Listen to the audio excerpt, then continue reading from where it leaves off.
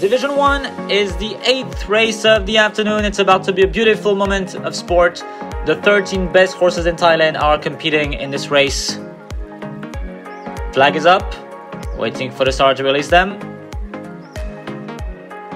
They're off in Division 1, 1,200 meters to go. Quickest out of the gate as usual was number 7, Seapearl. Seapearl with on the outside number 13, Kiao Song Sang. Nongenu number 1 is against Terrell with Santipap in fourth position. We currently see number 8, Wyoming Big A comes on the outside as well as number 11, Sia Chenua. Next follows PI, Maha, Lady Siam, Richy Sandy, Empire State, Amsterdam. The back of the field is currently for number 12, Karagad. Into the final turn now. It is still Sea Pearl in the lead with Kyo Song Sang and Pong Sakorn in second position on the outside. Wyoming is against Terrell on the inside. Big A is running a nice race under Tina Pat in fourth position.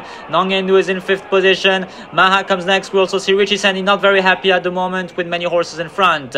Maha is in fifth position. Into the final stretch now. 400 meters left to go. Sea Still has the lead. We'll try to keep it until the end. But here comes Kyo Song Sang and Pong Sakorn. Kiao Song Sang now have taken it. Oh, but here comes Wyoming.